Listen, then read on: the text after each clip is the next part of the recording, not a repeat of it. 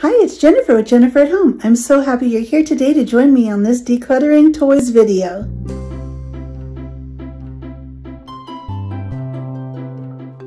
Well, you may be wondering why I'm making a video about decluttering toys when my children are grown adults. Well, let me tell you, I have so many friends with younger children and they just have toys everywhere and they're just overwhelmed by all of the toys and all of the mess and they just really aren't sure what to do about it. Well, I've dealt with so many toys in my own house over the years, and looking back now, I can clearly see some easy solutions to deal with all of those toys. Unfortunately, it was a little late for me, but maybe I can help somebody else by suggesting some things that I think would be great to consider when dealing with all of the toys. I think part of the reason that we have so many toys in our homes is that we're all really busy and we think that our kids could have all of these toys to entertain them and to have fun with. And frankly, it is actually a lot of fun for us as parents to go and buy all of these toys. When we go out shopping, especially before Christmas, and we want to get toys or have toys for Santa to bring and things that we think our kids would be excited about, it's actually fun for us to see all of the new things, things we didn't have when we were younger and all of the creative designs and different things they've come out with.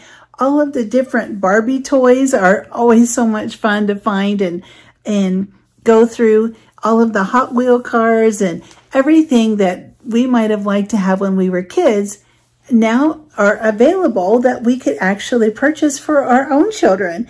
And that makes it so much fun. So we have a connection with these toys as parents in the stores even before we bring them home. Just picking out things for our kids that we want to give them a very special gift and we want to buy it and we put it in, we actually physically hold it and pick it up and decide what to get and we put it in the shopping cart and drive that shopping cart around the store and we have a connection. We take these things to the register. We physically buy them, pay for them, put them in our car. We take them home and wrap them up and we have an actual connection with these toys before our children even have ever seen them. So I think that's why it's so hard for us as parents to part with these toys because we go get them and do all of that. And then we, we want to see the excitement on our children's faces on Christmas or even on their birthdays when they open these toys and it, it connects, we have a bond with these toys and these things that we get before our children even get to play with them. So I think that's why when they're laying around the house and they're all over the place, that we find it really hard as parents to part with those things because we think that these are special things that we have gifted our children. And the ch our children may not even have a connection with these items because they didn't pick them or, or choose them. We bought these things for them. So when we're telling our children, hey, you need to clean up your room. Go clean your room. Pick up your toys. Unfortunately, our children don't always have the skills to pick up their things and know where to put them. A lot of these toys and things have so many different pieces and parts, and when they're all out on the floor or all over the room, it really becomes overwhelming for our children. And I didn't really realize this for so many years. It, it just now looking back, I can just now see it that when I told my children, go clean your room, go clean your room. You need to clean your room. Go clean your room before dinner. It just really, they just really don't know what to do with all of these things.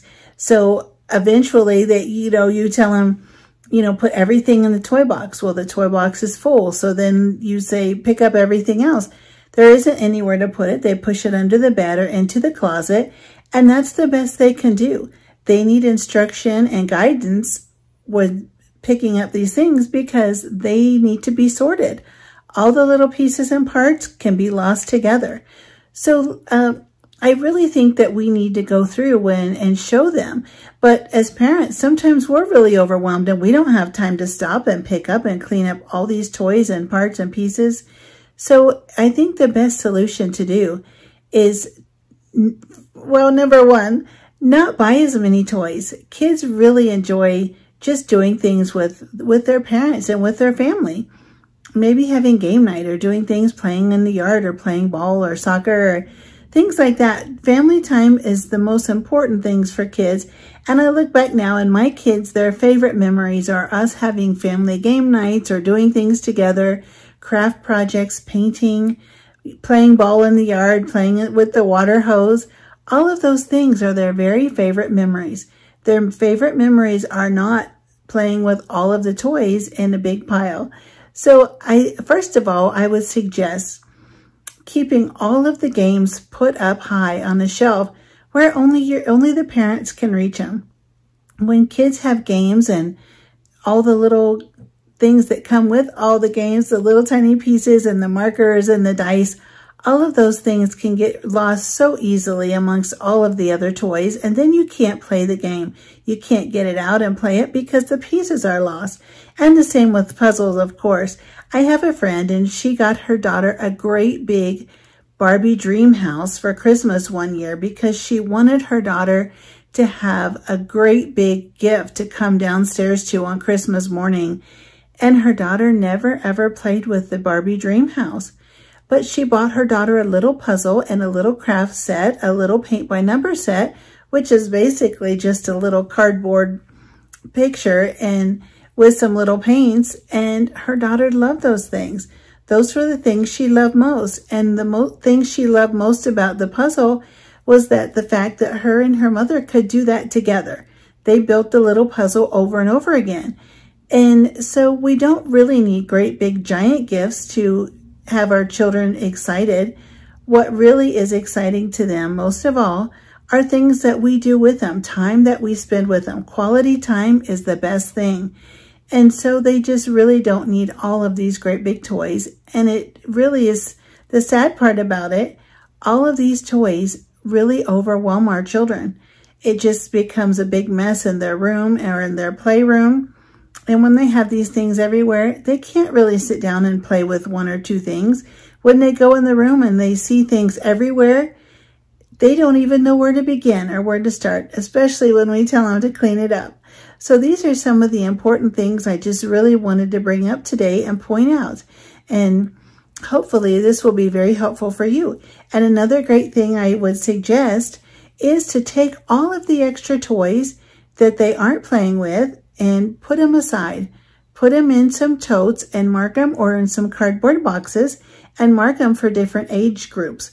If your children have outgrown some of the toys, the baby toys, and you don't need baby toys in your house anymore, maybe pick out just one or two of the most very special ones, maybe a special stuffed animal, things they may not play with now, or just another special toy, and put those aside. Put them in a tote or a box and mark um, keep baby toys.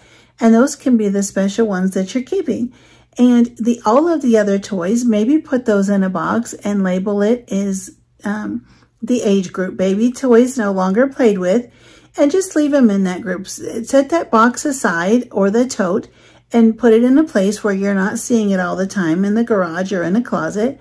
And later on down the road, if your children have not asked for those things or wanted to get in, you know, ask you what happened to so, those certain things, and they just weren't really favorite toys to begin with, then maybe it's time to pass those on to someone else that can really use them and enjoy them, or take them to the donation center. But you can keep aside the couple special toys that your child really, really liked and you can keep those put away for when they get older.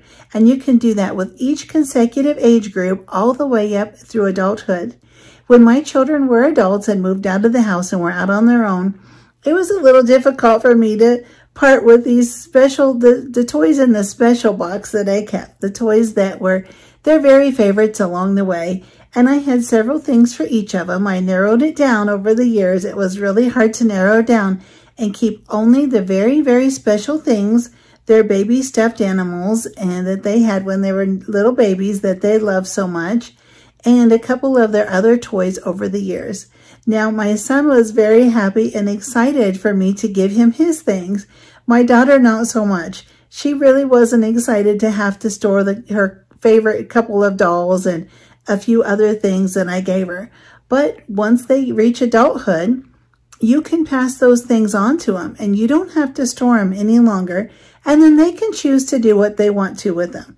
I told her that it was fine with me and I would be perfectly, it was perfectly acceptable if she decided to pass those things on to someone else, if she didn't want to store them or keep them any longer. So then that burden was completely off of me. I was free of that burden about what worrying what would happen to those special keepsake things that I had saved all those years. However, I didn't keep a lot of things. I know a couple of people that are keeping some really, really large things and keeping an excessive amount of things, believing that their grandchildren will play with those things one day. And it could be very well true. However, I'm not sure if your children really want you to burden them with all of their toys from their childhood.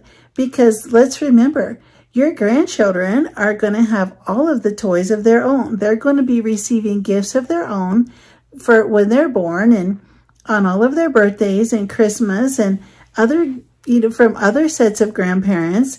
And you really don't want to burden your children with so many toys to completely fill their home when they have their own children. I, I really don't think that when my grandchildren are born that my children would be happy with me. They were perfectly fine with me giving the giving them the few toys that I had that were theirs when they were young. But I honestly, I know that they would not want me to bring a carload of toys that they played with as children because they'll want to go out and buy toys for their own children once they have them. So there really isn't a need or an expectation. They never expected me to keep all of the toys they had growing up and I'm so glad I didn't. We kept so many things for so long. And my husband was in the military for 30 years. So we moved quite a few times when my children were growing up. And we honestly just could not keep all of those things and keep packing them and moving them all the time. So pay attention to what your children like and what they really, really adore. And just only keep those special things.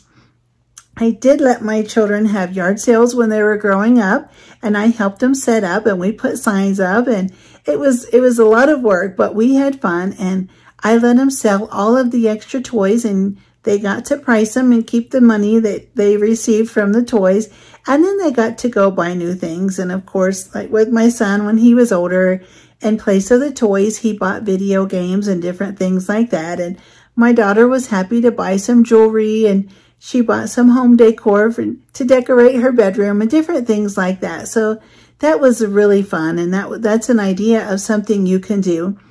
And another idea that would be really great, if you really are not in an area where yard sales are conducive, maybe you could give your kids a little bit of money and you could say, I'm going to offer you a certain amount of money, may, maybe say $5 or $10 or whatever you decide for everything that you don't play with anymore and perhaps give them a large cardboard box and say, everything that you don't enjoy playing with anymore or anything that you don't really, you know, like to have in your room or if you feel like you've outgrown this or that, maybe you can put those things in a box and say, I will give you this amount of money for the entire box. Once you fill the box, I'll give you this amount of money and then we'll take it to the donation center and let somebody else have it that can really enjoy these things or really want to play with these. And that's a great incentive too, to help your kids put everything in there and want to, and it'll really clean up the room. And then once you take the box out, maybe you sit down and have teach them, maybe go over some different ways to organize things and, or where you would expect them to put things because our kids really don't know where we want these things to go. If you would like some of the larger toys in the closet, for instance, and smaller ones in the toy box, or if you have a bookshelf and you tell them you want certain toys to be put on the shelf, show them, actually physically show them, or maybe put a little card on there that says a little, you know, like a little tag or something and says books or, or, you know, toy foods or whatever they have and uh, toy cars go on this shelf and put a picture of it or if they're old enough to read just label the things and that way when it's time for them to pick up they'll know exactly where everything goes so unless they really have an idea of where you expect everything to be put away it's, it's just so overwhelming and they don't have the organizing skills to do it. So that's just a really helpful way to get everything put away. And if you're not at the point where you feel comfortable getting rid of their toys or you just real, really feel uncertain about it or you just have a hard time parting with them, maybe just pick up some of the toys, put half of them away, box them up, put them in totes, whatever you need to do. Just put those toys away and put them out of sight. And then when they get tired of the toys that they currently have or they're playing with, then just take those toys and trade them out. Give them something new to play with and put the other ones away. And they'll be, uh, trust me, I've done this before. And my kids were just as excited with the toys that they used to have, even though they they had known that they were their toys already. They were just as excited when I rotated them out and brought out the toys and, that they had. And the first thing they said was, I forgot about this. I forgot we had this. I forgot I owned this. And so then I put all those toys back out, put the other ones away. And it's just like having all new toys again. So that works out really, really well. So I really hope that these ideas were helpful and these suggestions may work for you in some way. As a mother of two grown adult kids who uh, has dealt with many, many hundreds of toys over the years, these things really worked well for us and they I hope they work good for you too. So I would love for you to like, share, and subscribe and ring the bell so that you don't miss any of my upcoming videos.